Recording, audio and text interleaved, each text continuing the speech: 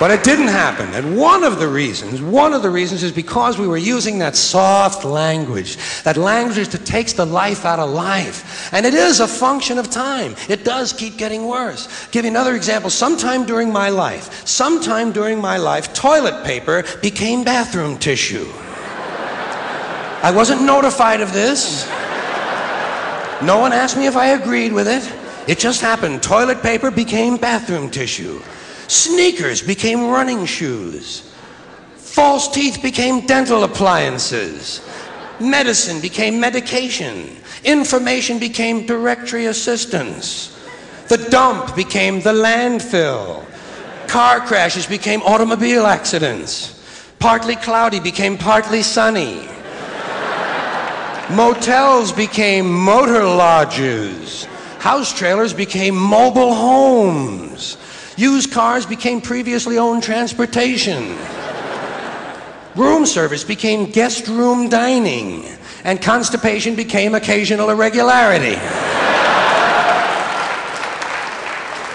When I was a little kid, if I got sick, they wanted me to go to the hospital and see the doctor.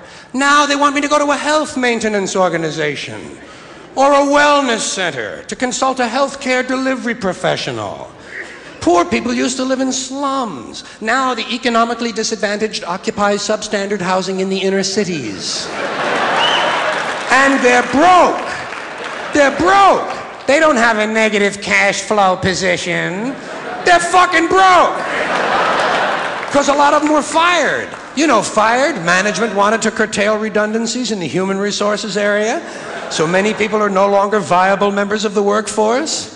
Smug, greedy, well fed white people have invented a language to conceal their sins. It's as simple as that. The CIA doesn't kill anybody anymore, they neutralize people, or they depopulate the area. The government doesn't lie, it engages in disinformation. The Pentagon actually measures nuclear radiation in something they call sunshine units. Israeli murderers are called commandos. Arab commandos are called terrorists. Contra killers are called freedom fighters. Well, if crime fighters fight crime and firefighters fight fire, what do freedom fighters fight? They never mention that part of it to us, do they? Never mention that part of it.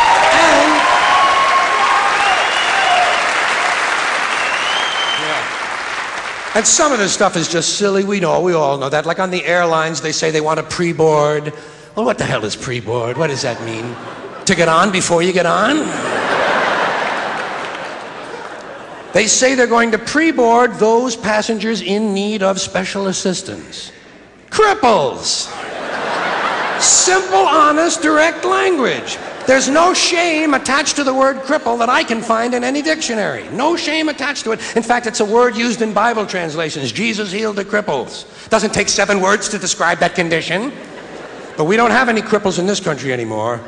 We have the physically challenged. Is that a grotesque enough evasion for you? How about differently abled?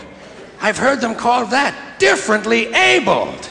You can't even call these people handicapped anymore. They'll say, We're not handicapped, we're handicapable. These poor people have been bullshitted by the system into believing that if you change the name of the condition, somehow you'll change the condition. Well, hey, cuz, doesn't happen. Doesn't happen.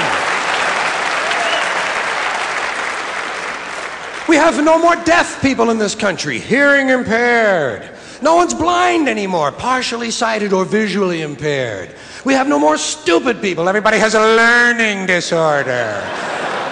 or he's minimally exceptional. How would you like to be told that about your child? He's minimally exceptional. Oh, thank God for that. Psychologists actually have started calling ugly people those with severe appearance deficits. It's getting so bad that any day now I expect to hear a rape victim referred to as an unwilling sperm recipient.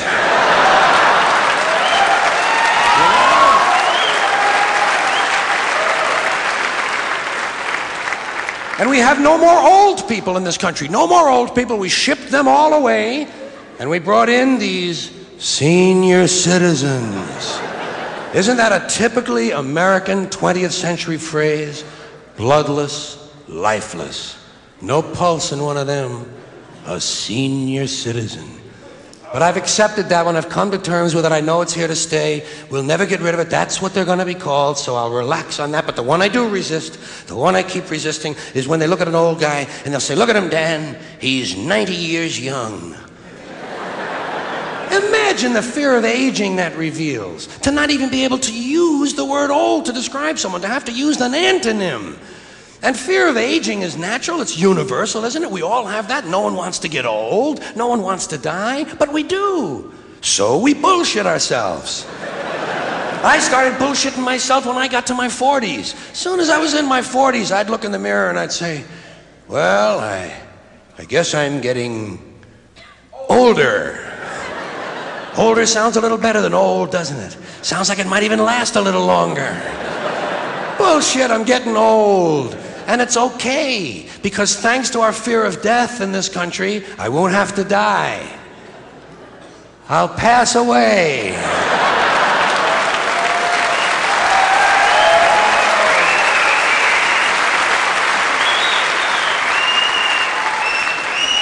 Or I'll expire like a magazine subscription. If it happens in the hospital, they'll call it a terminal episode.